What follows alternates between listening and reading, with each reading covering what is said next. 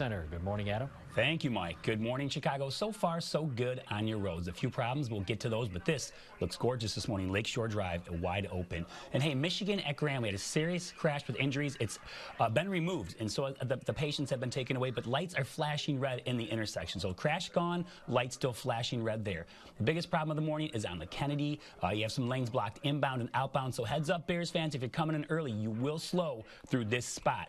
Now, beyond that, just to keep in mind, until noon today, 95th bound Red Line trains expressing from Howard to Wilson. There are shuttle buses through the area. Sean and Courtney, back to you guys.